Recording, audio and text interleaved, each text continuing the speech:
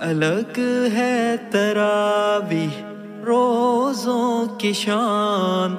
मज़ा सहरी अफतारी का कब कहाँ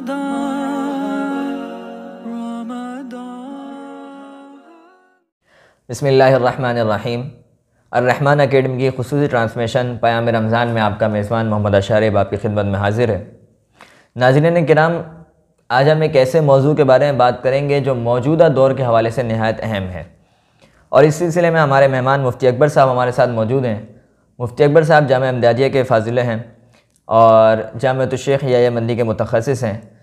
साथ ही मुफ्ती साहब की कारोबारी मसरूफियात अमेज़ोन पर ऑनलाइन कुछ मसरूफियात हैं। इसी हवाले से देखें, जब एक बंदे के अंदर जो है ना, मुख्तलिफ़ पर्सनैलिटी जमा हो जाती हैं टैलेंट्स जमा हो जाते हैं तो उस पर बात करना बड़ा आसान होता है। तो ऑनलाइन बिज़नेस के हवाले से मुफ्ती साहब से कुछ गुफ्तु करूँगा। सलाम वरक मुफ्ती साहब सबसे पहला सवाल मेरा आपसे ये है कि एक आम ऑनलाइन बिज़नेस और एक हमारे बाज़ार के बिज़नेस इन दोनों में मेजर और बड़ा डिफरेंस कौन सा है? सबसे पहले तो आपका शुक्रिया कि आपने इनवाइट किया अपने प्रोग्राम में। ऑनलाइन बिज़नेस और जो आम बिज़नेस है उनमें बहुत सारे वैसे तो फ़रूक हैं बहुत सारे डिफरेंस हैं लेकिन उनमें से मैं ये समझता हूँ कि ऑनलाइन बिज़नेस के फ़वाद बहुत ज़्यादा हैं, दूसरे बिज़नेस से। अगर इसको सही तरीके से किया जाए तो बहुत ज़्यादा पैसे इसके ज़रिए से जनरेट भी हो सकते हैं और आसानी के साथ जनरेट हो सकते हैं। क्योंकि देखें कि अगर मिसाल के तौर पर आप फिज़िकली बिज़नेस करते हैं, आप यहाँ दुकान बनाते हैं, सदर में दुकान खोलते हैं छोटी सी तो एक तो इसमें सबसे पहले ये है कि आपको सुबह से लेकर शाम तक बैठना पड़ेगा। अगर आप के घर में कोई खुशी का मौका है या अल्लाह ना करे कभी गमी का मौका आ जाता है तो आपकी दुकान बंद रहेगी उस दिन आपकी सेल बंद होगी कोई भी बंदा चीज़ नहीं ले सकता वहाँ पर ना। इसी तरीके से रात के वक्त आप तो घर आ जाएँगे सोएँगे आराम करेंगे तो आपकी दुकान बंद है तो आपकी सेल नहीं हो रही आपकी प्रोडक्ट दुकान में रखी हुई है। लेकिन अगर वही बिज़नेस आपका ऑनलाइन होगा तो एक तो यह है कि चाहे आप खुशी में हैं चाहे आप गमी में हैं चाहे आप सोए हुई हैं चाहे आप जाग रहे हैं चाहे दिन है चाहे रात है चाहे यानी लोग जो है ना प्रोग्राम ये जो फ़िज़िकल बिज़नेस कर रहे होते हैं ये उमूमन संडे को छुट्टी कर लेते हैं। तो चाहे आप संडे में हैं मंडे में जिस दिन में भी आप हैं अगर आपका बिज़नेस ऑनलाइन होगा तो उसमें आपका बिज़नेस ग्रो कर ही रहा होगा। ऑर्डर आ रहे होते हैं। कि मिसाल के तौर तो पर अगर आपकी वेबसाइट है आपका फेसबुक पेज है जो भी है तो ऑर्डर आपको वसूल हो रहे होते हैं। तो एक तो मेजर इसका ये फ़र्क है। दूसरी बात यह है कि अगर आप ऑनलाइन बिज़नेस इस्टेब्लिश करते हैं और उसके बाद उसको मज़ीद आगे एक्सटेंड करते वर्ल्ड वाइड ले जाते हैं उसको तो उसमें आपकी जो इनकम है वो डॉलरों में आना शुरू हो जाती है। और ज़ाहिर है कि एक डॉलर मुझे अब मालूम नहीं है उसका दो सौ पिछहत्तर अस्सी तक तो होगा मेरे ख्याल में शायद आगे पीछे होगा कहीं। तो अब एक डॉलर अब जब आपकी प्रोडक्ट पाकिस्तान में बिकती है तो वो सौ रुपये में बिकती है। लेकिन वही प्रोडक्ट जब आपकी यूके में यूएस में या बाहर किसी कंट्री में बिकेगी ऑनलाइन तो उसमें आपको डॉलरों में चीज़ें मिल पैसे मिल रहे होंगे तो आपकी जो इनकम है वो इंक्रीज हो रही इंक्रीज हो रही होगी। और इसी तरीके से एक तीसरा जो मेजर फ़र्क है वो ये है कि अगर आप ऑनलाइन फ़िज़िकल बिज़नेस करते हैं तो आपको बिजली के बिल भी देना है। बिल्कुल। ए सी लगाया हुआ है उसका भी बिल देना है। कोई बंदा सफ़ाई के लिए रखा हुआ है उसका भी बिल देना है। और उस बंदे को हो सकता है कि आपने कोई बंदा रखा हुआ हो कि मैं लेट आता हूँ तो सुबह से लेकर शाम तक तुम बैठा करो मैं शाम को आके सिर्फ़ आपके आप ऑडिट कर लिया करूँगा। तो वो जो बंदा है उसको भी आपने सैलरी देनी होती है क्योंकि जितने बड़े भी शॉपिंग मॉल्स होते हैं उसमें ज़्यादा तादाद में लोग जो है ना लेबर रखी जाती है। तो इनमें अगर आप बजट देखेंगे तो बहुत सारा बजट आपका बन जाता है ये सारी चीज़ें देखकर।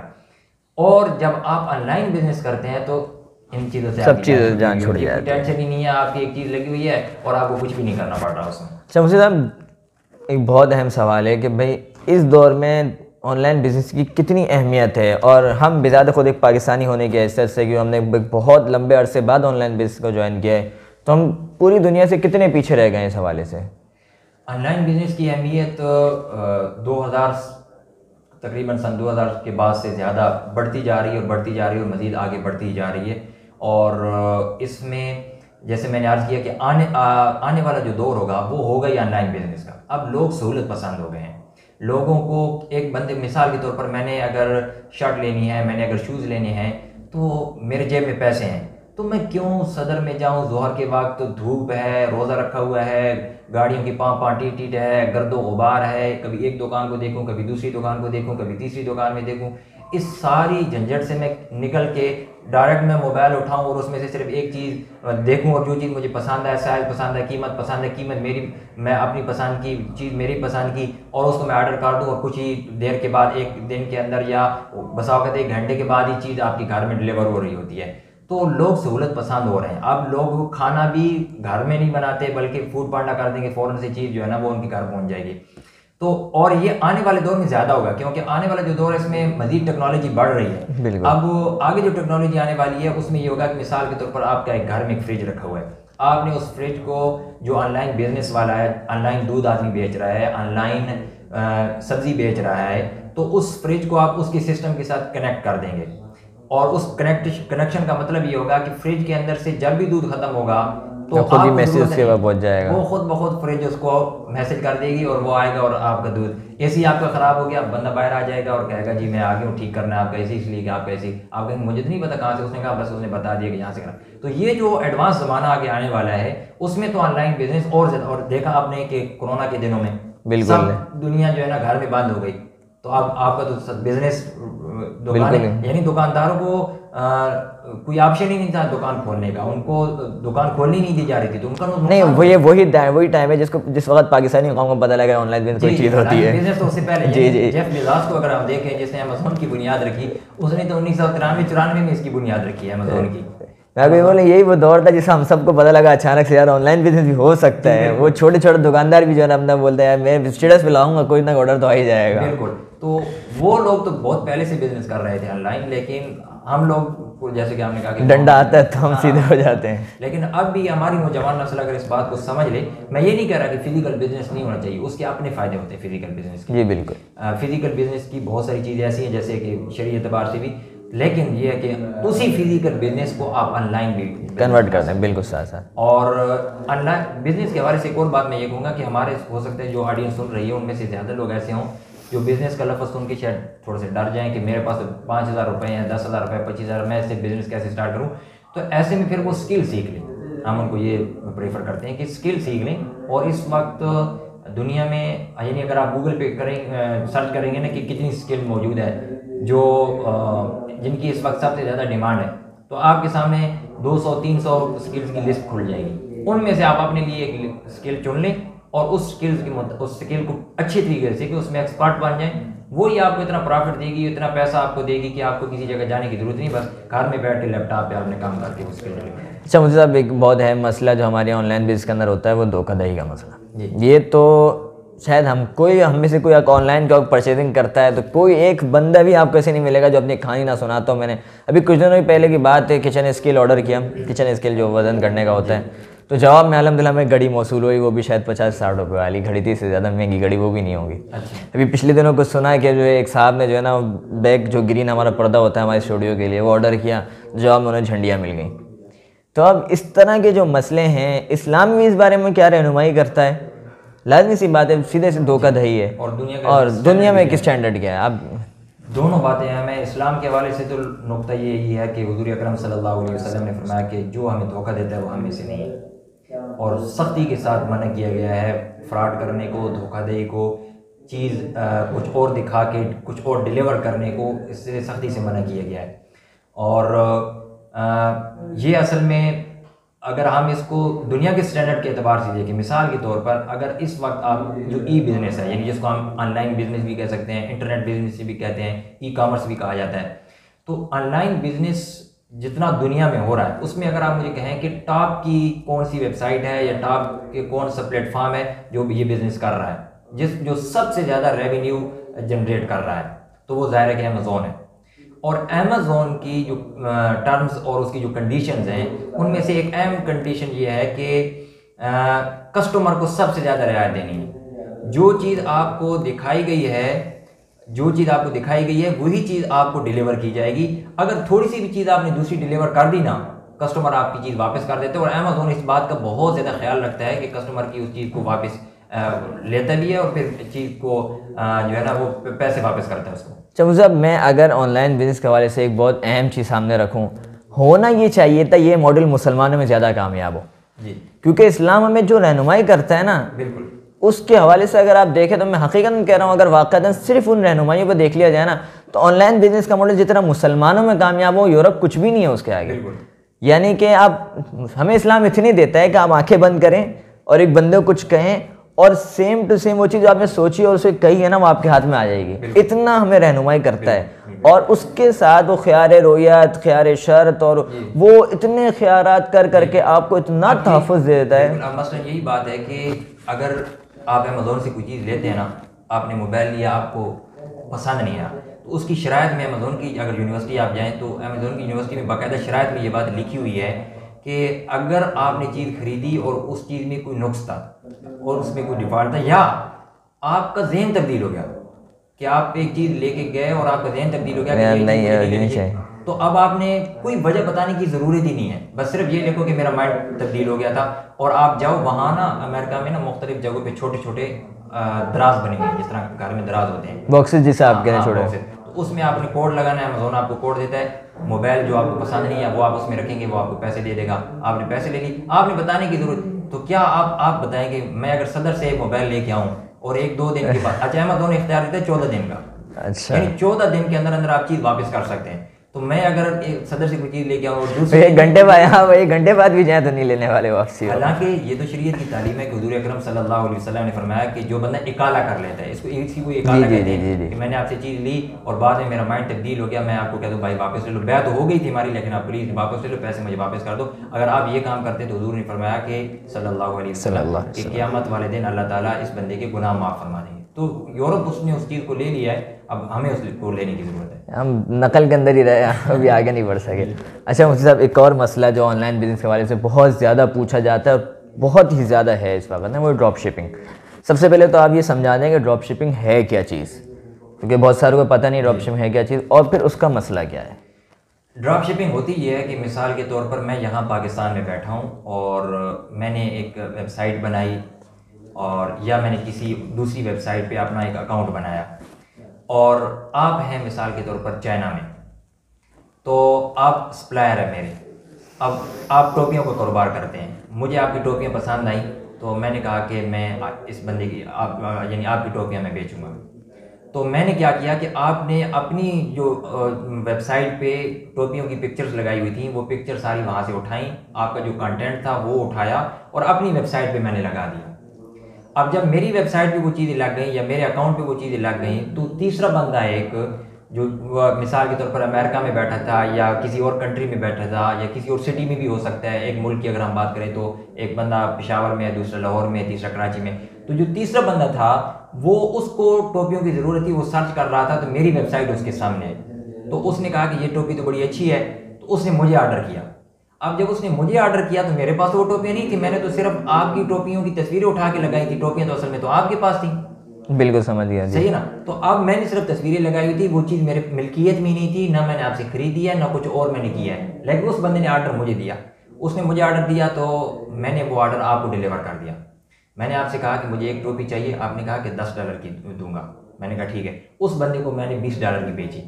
दस डॉलर मैंने अपने पास रख लिए दस डॉलर मैंने आपको दिए। और आपने कहा कि मैं इसको डिलीवर कहाँ करूँ? तो मैंने अपना एड्रेस नहीं दिया। डायरेक्ट आपने कस्टमर का ऑर्डर दे दिया। कस्टमर का। जी तो आपने बाहर बाहर से कस्टमर को भेज दिया। जी जी जी। तो ये है ड्रॉप शिपिंग कि ड्रॉप शिपिंग में ये होता है कि एक चीज़ की मिल्कियत यानी एक चीज़ पर आपकी मिल्कियत ही नहीं है। आप किसी दूसरे बंदे की चीज़ अपनी वेबसाइट पे अपनी दुकान पे शो कर रहे होते हैं कि ये चीज़ मेरे पास है हालाँकि वो चीज़ आपके पास नहीं होती। अब इसमें जो शरी पहलू है वो ये कि शरीयत का कानून है कि कब्जा करने से पहले कोई चीज़ आप नहीं बेच सकते। एक तो आप वो चीज़ नहीं बेच सकते जो आपकी मिल्कियत में ना हो। दूसरी ये है कि आप उस चीज़ को नहीं बेच सकते जिस पर आपका कब्जा ना हुआ। तो यहाँ पर एक तो मेरी मिल्कियत में चीज़ नहीं थी। फिर अगर मैं ये कहता हूँ कि मैंने आपको पैसे दे दिए तो पैसे देने की वजह से मिल्कियत आ जाएगी तो मिल्कियत पूरी उस वक्त आएगी जब वो चीज़ मेरे कब्जे में आ जाएगी। जब तक कब्जे में नहीं आती मेरी मिल्कियत में नहीं है अभी तक। तो शरीयत कब्जा करने से पहले उस चीज़ से मना करता है मना करती है। तो आपने ड्राफ्ट शेपिंग में यही होता है कि आपने बाहर बाहर से उस बंदे को चीज़ कब्जा तो हुआ नहीं उसके अंदर। हुआ नहीं है। सॉरी।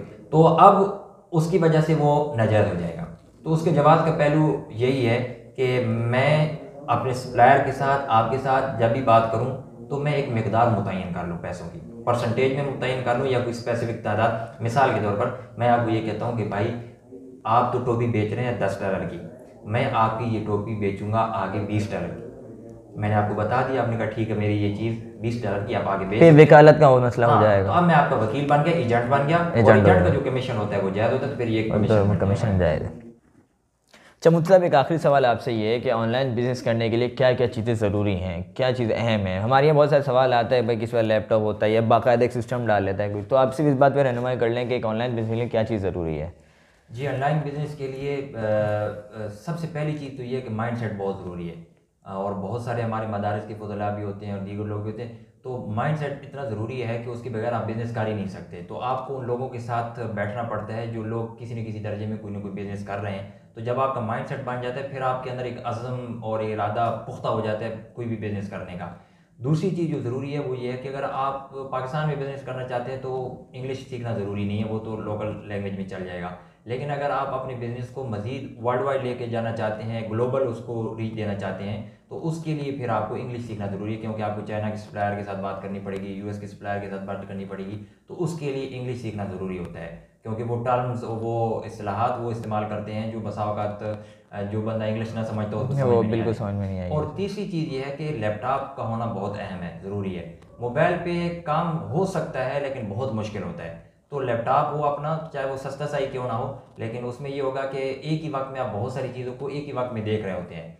मिसाल के तौर पर आपने फेसबुक पेज बनाया हुआ है, आपने वेबसाइट बनाई हुई है, आपने यूट्यूब और ट्विटर पे एक तो ये अकाउंट्स बनाए हुए होते हैं। तो उनको एक ही वक्त में सारी चीज़ें आपके सामने आ रही होती है, देख रहे होते हैं और मुख्तलिफ़ वेबसाइट पे सर्च भी कर रहे होते हैं। क्योंकि आपको को मार्केट के साथ चलना पड़ता है। अगर आप थोड़े से पीछे रह गए मार्केट से तो जो प्रोडक्ट आप लॉन्च कर रहे हैं हो सकता है कि उसमें नुकसान हो जाए। ऑनलाइन में नुकसान भी बहुत ज़्यादा हो जाता है। मिसाल के तौर पर अगर आप अमेज़ोन की बात करते हैं तो अमेज़ोन में जो बिज़नेस है तकरीबन जो है वो अड़तालीस फ़ीसद जो है वो कामयाब रहता है उमूमन पाकिस्तान से। और बावन फ़ीसद जो है वो ज़्यादातर जो है वो हाँ, तो उसको थोड़ा सा फिर आपको हर एतबार से संजीदा भी रहना पड़ता है और चीज़ों को देखना पड़ता है तो लैपटॉप भी होना ज़रूरी है इंग्लिश लैंग्वेज का होना भी ज़रूरी है।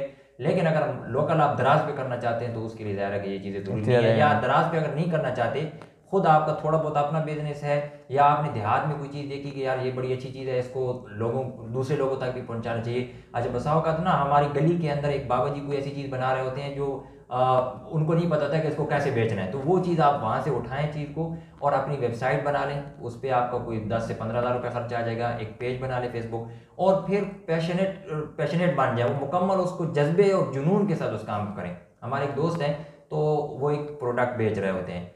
तो सियासत हो, यानी सियासत की आज जैसे आपने कहा कि बहुत हलचल होती है ना, हमारे मुल्क में हर वक्त ही रहती है तो वो जब कोई सियासी चुटकला भी बयान करना होता है तो आखिर में उसको अपनी प्रोडक्ट की तरफ़ मोड़ के ले जाते हैं। मुल्क में सैलाब आया हुआ है फिर भी वो अपनी प्रोडक्ट के बारे में पोस्ट कर रहा है। मैचेस हो रहे हैं, फिर भी वो, यानी पीएसएल की बात करते करते आखिर में अपनी प्रोडक्ट की बात कर देते हैं। तो जब इस तरीके से आप अपने बिज़नेस को सही तरीके से करने की कोशिश करेंगे तो इंशाल्लाह आपका बिज़नेस ग्रो करेगा। बहुत बहुत शुक्रिया मुफ्ती साहब, बहुत अहम वक्त दिया आपने। अलहमदिल्ला बहुत अहम सेगमेंट हुआ आज हमारा और मुफ्ती साहब से बहुत अहम मौजू पर गुफ्तु हुई। उम्मीद है जितना कुछ हमने इसमें सीखा, हम उस पर अमल भी करेंगे। जजाकल्ला खैरा। इन शाला थोड़ी देर बाद आपसे दोबारा मुलाकात होती है अपने एक नए सेगमेंट के साथ। वालेकुम। अलग है तरावी, रोज़ों की शान।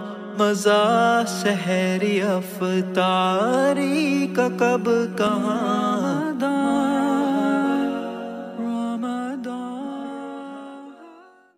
बसमीम अब हम अपने प्रोग्राम क़याम रमज़ान के दूसरे सेशन की तरफ़ चलते हैं जिसके अंदर हम मुख्तलिफ़ फ़िकी सवाल के जवाब अपने मेहमान से पूछते हैं और उसके ज़रिए हम अपनी ज़िंदगी के मुख्तलिफ़ मसाइल में रहनुमाई हासिल करते हैं। हमारे साथ मौजूद हैं आज हमारे मेहमान मुफ्ती इब्राहिम जमाल साहब जो कि फ़ाजिल और मुतखसिस हैं मादुलखल इस्लामी भादराबाद के। अल्लाम वर्क क्या हाल चाल है मुफ्ती साहब आपके? अल्हम्दुलिल्लाह अल्लाह का शुक्र है आप सुनाएँ अच्छा मुझसे साहब बहुत अहम सवाल हमारे पास मौजूद हैं। आपसे वो सवाल करेंगे। जब सबसे पहला सवाल हमारे पास मौजूद है कि किसी लड़की का नाम हिरा नूर या जैनब नूर रखना कैसा है? देखिए, हेरा नाम रखना ये भी दुरुस्त है। हेरा इसके माने वैसे लफ्ज़ी माना देखेंगे तो गुस्सा होने के माना आते हैं, लेकिन इस्लामी नामों में से है। और जैनब इसके माना खुशबू के आते हैं और अल्लाह के नबी सलाम की अजवाज और अल्लाह के नबी साहबजादी, इनके अंदर जो है, दो दो जोजार के नाम थे अल्लाह के नबी सलाम के और एक साहबजादी जो उनका नाम जैनब था। और नूर ये अपना अलग माना है और अलग नाम है। अब बाकी लोग उसको मिला के रख देते हैं, हीरा नूर, जैनब नूर तो इसमें भी कोई मजाका नहीं है।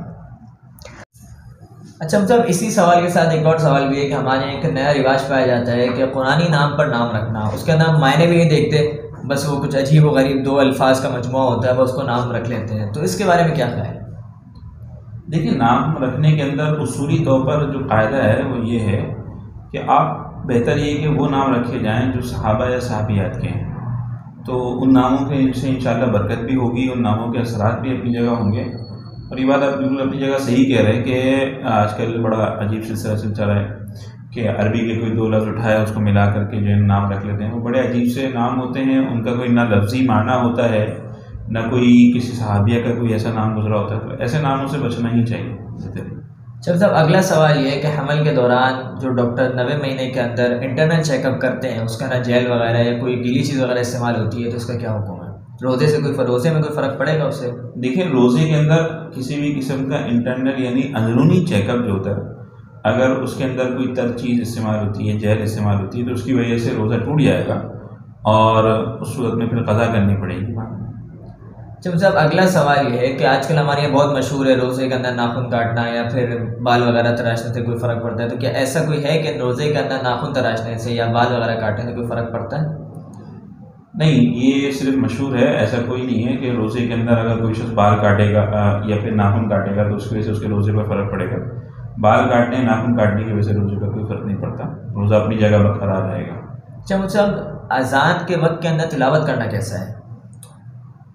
देखिए अजान के वक्त तिलावत करने की दो सूरतें हो सकती हैं कि अगर तो ऐसी सूरत हो रही है कि मसलन के नमाज़ मतलब तिलावत चल रही थी और दौरान तिलावत जो है अजान शुरू हो गई।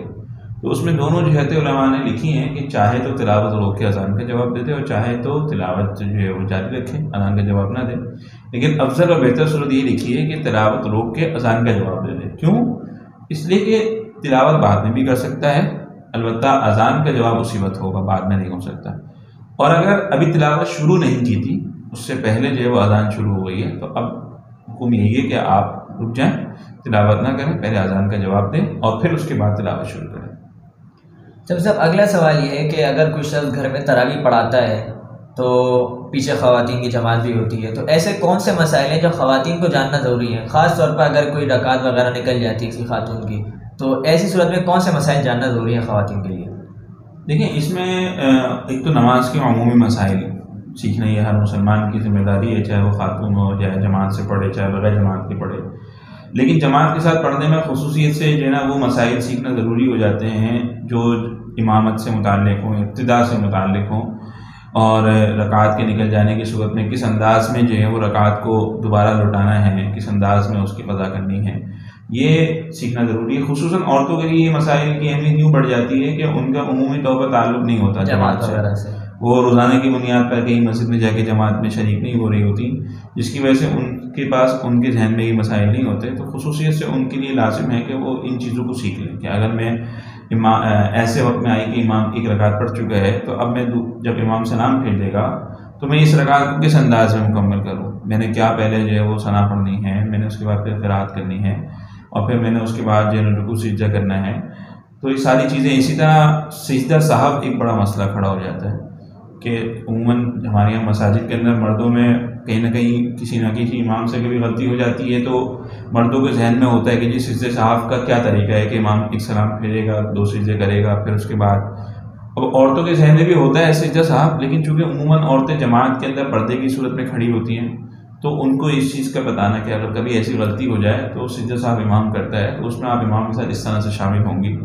और अगर आपसे ये गलती हो जाए तो उसका ये हुक्म होगा। तो सर बिल्कुल इसी से मुतसिल एक मसला है कि जमात का इत्तिसाल ज़रूरी है यानी अगर कहीं जमात हो इत्तिसाल ज़रूरी है। हमारे यहाँ आमतौर पर होता ही है कि मिसाल तौर बाहर तरावी हो रही है बीच में एक दीवार का फासला होता है अंदर कमरे में खातन होती हैं। तो कितना इत्तिसाल दोनों के दरमियान ज़रूरी है या कितना बड़ा फासला दोनों के दरमियान ना होना चाहिए जमात को सही रखने के लिए? देखिए इत्तिसाल के मुताबिक इसमें वही हुक्म है जो मर्दों की सफ़ों के अंदर है कि दरमियान में इतना बड़ा रास्ता हायल ना हो या इतनी बड़ी जगह ना छूटी हुई हो। जिसको उलमा ने मुख्तलिफ़ सूरतें से मिसालों से समझाया है कि मिसाल एक नहर हो जिसमें किश्ती चल जाए या दरमियान में गाड़ी गुजर जाए। मतलब इस तरह की जो दरमियान में जिसको हम कहते हैं कि जी सफ़ों में हो फासला ना होगी इसमें। वह ख़त्म हो जाता है इत्तेसाल। तो जिस तरह मर्दों की सफ़ों में इत्तेसाल ज़रूरी है इसी तरह मर्दों और औरतों की सफ़ों में इत्तेसाल भी ज़रूरी है। अलबत्त दरमियान में किसी दीवार का होना किसी पर्दे का हाइट होना ही ज़रूरी है अपनी जगह। अगर नामहरम खड़े हैं अगर नामहरम नहीं है तो फिर पर्दे की ज़रूरत नहीं होगी। जब सब कुरान खानी के लिए, जैसे आजकल हमारे यहाँ बहुत ज़्यादा मशहूर है, किसी मदरसे से बच्चों को ले आते हैं उस पर बाकायदा उजरत दी जाती है, या जैसे रमज़ान में मसला पेश आता है, किसी हाफिज़ को लेके आते हैं, बाकायदा उस पर उजरत तय की जाती है कि हाफिज़ तरावी पढ़ाएगा, उसमें इतने पैसे लेगा तो इसका क्या हुक्म है? देखिए, तरावी के लिए या कुरान खानी के लिए बच्चों को बुलाना और उस पर उजरत लेना, देना ही जायज़ नहीं है। इसलिए कि ने उजरत लेने की इजाज़त उन सूरतों में रखी है कि जिनको छोड़ने की वजह से दीन का मुनहरम होना लाजिम आ रहा हो, यानी कि शायर में से हो, जैसे फ़र्ज़ नमाज़ों के लिए इमामत है, उस पर इमाम की तनख्वाह मुकर की जाती है। क्योंकि अगर नहीं करेंगे तो फिर कोई इमाम नहीं मिलेगा तो उसकी वजह से जमात का मसला खड़ा हो जाएगा। लेकिन तरावी के अंदर उलमा ने ये लिखा है कि अगर कोई हाफिज़ नहीं है किसी मोहल्ले के अंदर, और उनको बाहर से बुलाना पड़ता है और वो उजरत लेता है तो उससे बेहतर ये है कि मोहल्ले में से ही लोग सूरत तरावी पढ़ लें। बजाय इसके कि किसी से बाहर, किसी को बाहर से बुलाएँ और फिर उसको जो है उजरत दें। अलबत् एक सूरत जो उलमा ने लिखी है दोनों तरफा ख्याल करते हुए कि अगर कोई मिसाल है, किसी की ज़रूरत है कि उसको बाहर से बुलाया जा रहा है और तरावी के अंदर, तरावी में इमाम बनाया जा रहा है। अब लामला जो तरावी में पढ़ाने वाला बंदा है, उसकी भी अपनी ज़रूरत है। तो उसके लिए उलमा ने ये तरीका लिखा है कि उसको फिर एक दो महीने के लिए नाइब इमाम का दर्जा दे दिया जाए। और फ़र्ज़ नमाज़ों में से भी एक दो नमाज़ें उसके हवाले कर दी जाएँ उसके ज़िम्मे कर दी जाएँ और वो उन फ़र्ज़ नमाज़ों की भी इमामत करे और तरावी की भी इमामत करे और उसको इस नाइब इमाम होने की बुनियाद पर उजरत दे दी जाए। तो ये दुरुस्त है है? चलो साहब एक और मसला ये है कि बहुत सारे लोग वज़ू करके रुमाल वगैरह से या तौलिए वगैरह से मुँह वगैरह पोछते हैं वज़ू का पानी पोछते हैं। अब उसी रुमाल के ऊपर नमाज़ पढ़ना या उसी रुमाल को सर पर बाँध के नमाज़ पढ़ना तो इससे नमाज़ से तो कोई फ़र्क नहीं पड़ता। नहीं इससे नमाज़ कोई फ़र्क नहीं पड़ेगा इसलिए कि वज़ू का पानी पाक है। तो उससे अगर वो किसी कपड़े पर लग रहा है उस कपड़े पर नमाज़ पढ़ी जा रही है उसको ओढ़ कर नमाज़ पढ़ी जा रही है तो उसमें दोनों में कोई हर्ज नहीं है। जब साहब ज़क़़त की रकम से किसी इलाके में कुआँ खुदवाना ये कैसा है? देखिए ज़क़़त की रकम के लिए बुनियादी तौर पर शराइ में से एक शर्त ये है कि उसका मालिक बनाया जाएगा। ज़क़़त जो अदा करना है उसके लिए लाजिम ज़रूरी है कि ज़क़़त की रकम का किसी को मालिक बनाया जाए। लिहाजा फलाही कामों में, रिफाही कामों में, जहाँ सब इस्तेमाल करते हैं, उन कामों में ज़क़़त लगा देना, ये इससे ज़क़़त अदा नहीं होती है। लिहाजा अगर कोई शख्स कुआँ खुदवा लेता है कि जी मैंने ज़क़़त की रकम से कुआँ खुदवा ली मेरी ज़क़़त अदा हो गई तो उससे ज़क़़त अदा नहीं होगी, इसलिए कि वो कुआँ किसी की मिल्कियत नहीं। हाँ किसी को रकम दे दे, अगर ज़रूरत है कहीं किसी इलाके में कुएँ की और कोई नफली सदक़ात मैसर नहीं है तो वो किसी को रकम दे दे उस बस्ती में से कि जो साहिब निसाब ना हो ज़क़़त का मुस्तहिक हो और फिर वो अपने बिहार अपने उस पर जो है ना कुआँ खुदवा दे तो उसमें कोई मसला नहीं कोई हर्ज नहीं है।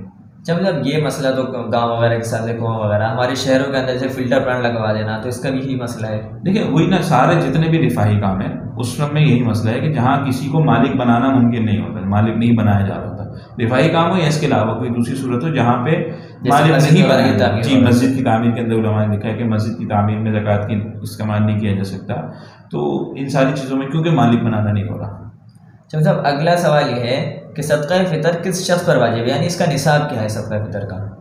देखिए सदक़ातुल फितर के लिए सबसे पहली चीज़ तो ये कि जिस शख्स पर ज़क़़त वाजिब है उस पर सदका फितर वाजिब है। लेकिन इसके साथ साथ अगर कोई शख्स ऐसा है कि उसके पास जो है वो कर्ज और ज़रूरत है, दो चीज़ें, कर्ज और ज़रूरत से ज़ायद इसबाब और सामान मौजूद हैं। सारे घर में जो है वो इतनी ज़रूरत से ज़ायद सामान रखा हुआ है जो सालों इस्तेमाल नहीं होता। अब उस पर ज़क़़त तो नहीं है, लेकिन ऐसे शख्स पर अगर उसकी मालियत, उस सामान की मालियत साढ़े बावन तोला चांदी के बराबर हो या उससे ज़्यादा हो तो उस पर जो है वो सदका फितर वाजिब होगा, उसको सदका फितर अदा करना पड़ेगा। सब अगला सवाल ये है कि ईद की नमाज़ के लिए ख़वान को जाना कैसा है? देखिए, नमाजों के लिए ख़वान का जाना ये मकरू लिखा है। पहले अल्लाह के नबी सलाम के ज़माने में अगरचे ख़वातीन जाया करती थी, लेकिन अल्लाह के नबी सलाम की अहादीस में अगर हम देखते हैं तो अल्लाह के नबी सलाम की तरगीब यही थी कि अल्लाह के नबी सलाम की एक हदीस है, जिसका मफहूम है कि औरत के लिए जो है वो घर के बाहर के हिस्से के मुकाबले में घर के अंदर नमाज़ पढ़ना ज़्यादा बेहतर है। और अल्लाह के नबी सलाम का ज़माना खैरुलकुरून का ज़माना था। लेकिन उसके बाद कुछ सहाबा के ज़माने में हजमर रदी अल्लाह तु ने सुना पसंद किया और मना फरमाया औरतों को। हद आयशा रदी अल्लाह तु का मकूल है कि अगर अल्लाह के नबी आसमाम इस ज़माने में होते तो औरतों को मना फरमा देते। तो आयशा का ज़माना अल्लाह के नबी सलाम के ज़माने से मुतसिल है। और आज के ज़माने को अगर हम देखेंगे तो उसमें तो बहुत ज़्यादा ही फसाद आ चुका है। लिहाजा औरतों का ईदगाह की तरफ़ जाना है जायज़ नहीं तो सब, अगर ईद की नमाज़ के अंदर, इमाम को रुकू के अंदर पाएँ और तकबीरात सवाई छूट गई हैं सस्ती बात ऐसी बात है तो वो कैसे अदा करेगा? देखें, इसमें तफसीली मसला ये है, इसको देख लें कि अगर कोई शख्स इमाम के बाद, इमाम के साथ आता है ईद की नमाज़ में और इमाम किरात कर रहा है, तकबीरात जवाब कह चुका है और किरात कर रहा है तो उसके लिए हुक्म ये है कि वो अगरचे इमाम किरात कर रहा हो, ये शख्स अपने तकबीरात जवाब कह ले। और फिर उसके बाद इमाम के साथ अपना शामिल हो जाएगा किरात तो नहीं करेगा। और अगर मिसाल के तौर पर इमाम रुकू में जा चुका है, फिर ये शख्स आया तो अब इसमें दो सूरतें हैं। अगर तो इस शख्स को इतमान है और अहतमाद है कि ये इमाम को रुकू में पा लेगा, अगर ये खड़े खड़े तकबीरात जवाब कहता है, तकबीर तहरीमा के बाद तो इसके लिए हुक्म ये कि फिर ये खड़े खड़े क़्याम की हालत में ही तकबीरात जवाब कह ले और फिर इमाम के साथ रुकू में मिल जाए। लेकिन अगर इसको खतरा है कि मैं इतनी में तकबीरात जवाब कहूँगा इमाम रुकू से उठ जाएगा तो अब इसके लिए हुक्म ये कि रुकू में चला जाए और रुकू में ही जाहिद तकबीरात कह ले और अगर कोई शख्स इस हालत में आया कि इमाम रुकू से उठ चुका था, यानी उसकी पहली रकात निकल गई थी तो अब उसके लिए हुक्म यह है कि इमाम के साथ तो शामिल हो जाएगा, दूसरी रकात इमाम के साथ पढ़ेगा।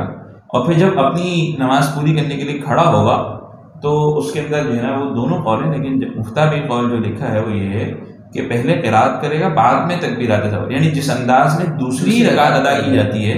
उस अंदाज में उसने अपनी इस रकात की जो है ना वो कदा करनी है और उस रकात को पूरा करना है। तो सर अगला मसला ये है कि अगर किसी शख्स ने सदका फ़ितर नमाज़ से पहले अदा नहीं किया उससे रह गया भूल हो गई तो अब नमाज़ के बाद अदा करेगा। देखिए ईद सदका फ़ितर का जो सही वक्त है और अफजल वक्त है वो तो ये कि ईद की नमाज़ जाने ईदगाह की तरफ़ जाने से पहले बंदा सदका फ़ितर अदा कर दे। जो अफजल तरीका है अगर किसी से रह गया है तो ईद की नमाज़ के फ़ौर बाद अदा कर दे ईद वाले दिन ही अदा कर दे। और अगर किसी ने ईद वाले दिन भी अदा नहीं किया तो भी बाद में उसको करना पड़ेगा अगर से अब ये मकरू है उसके लिए कि उसने जो है वो इसको ईद वाले दिन से भी मौखर कर दिया दाखिल कर दी उसके अंदर। लेकिन करना भारत पड़ेगा उसको अदा।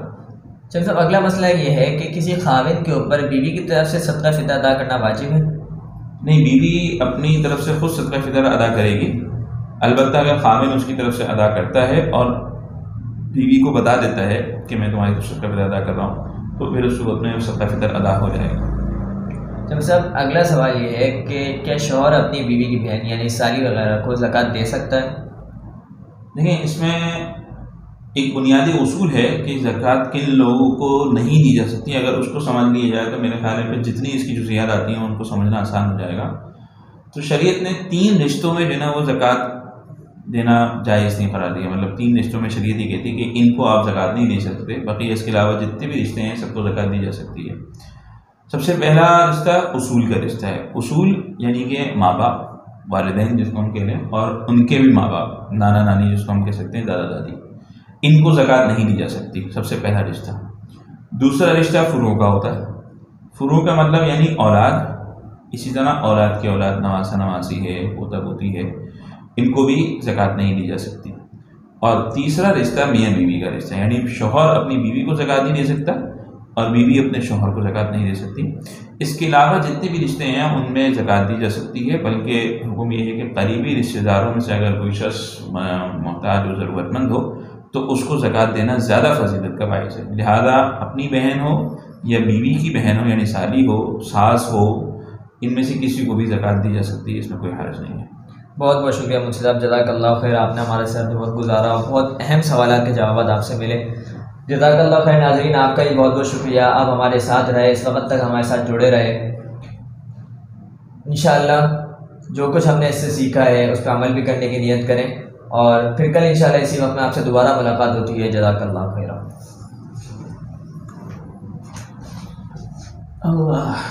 अलग है तरावी रोज़ों की शान मज़ा सहरी अफतारी का कब कहाँ?